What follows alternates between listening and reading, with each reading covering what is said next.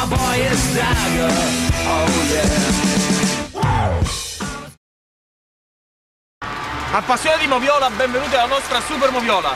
Siamo qui alla ricostruzione dello stadio Cipoli, abbiamo la computer grafica perfettamente ricostruita il Massimino anche con un sottofondo fastidioso. Anche la giornata piovosa è stata ricostruita alla perfezione con un freddo che si aggiunge. Andiamo a vedere subito al ventesimo del primo tempo. C'è un episodio sospetto, andiamo avanti con le immagini. Vediamo Alvarez scontrarsi con Rose, ecco stop. Guardate il contatto fra i due piedi è netto. Ecco, andiamo avanti con le immagini, i due cadono a terra. Ecco, io i due cadono a terra. Niente, eh, la computer graphic si rifiuta di cadere a terra visto il freddo e andiamo al prossimo episodio. Siamo al momento topico della partita, è il 65esimo e l'arbitro Tagliavento sta per decretare la sospensione della partita. Ecco, andiamo avanti con le immagini. Vediamo l'arbitro, vediamo che il pallone ancora rimbalza. Nel frattempo eh, il capitano Izco propone all'arbitro Tagliavento di utilizzare il pallone da palla nuoto che comunque l'arbitro dice di non utilizzare.